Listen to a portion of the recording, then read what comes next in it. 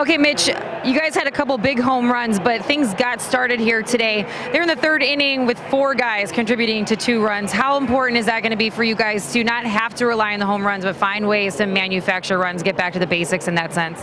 Well, scoring first is kind of our thing. Uh, when we do that, we win a lot of games, and uh, you know, they let off the game with they uh, walked our leadoff guy three times to start the first three innings, and we took advantage of that. We were able to score first there, and uh, that was big for us. Just manufacturing runs. Uh, Polanco did a great job getting me over from second base, and then Nelly did what he does and, and drives, uh, drove me in. So it was just a good team win.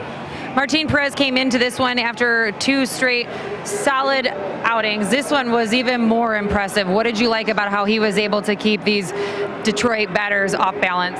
We were moving the cutter around a lot. Um, I think command was his thing today. He, he, did a really good job.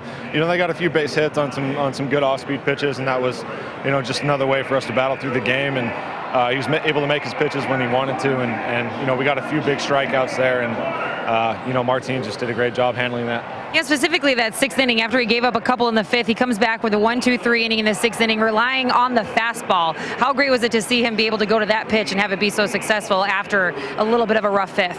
Well, we knew uh, that was going to be his last inning, and basically before we went out, we told him to empty the tank. You know, give us everything you got right here. Uh, he mowed through those last three hitters there in the sixth, and was able to hand the ball over to the bullpen. It was just a really good job. Well, congratulations. Nice job behind the plate and at the plate. All right, thank you. Mitch Garver, good game all around like always, continuing to do what he does best, helping this team win a big ball game, guys.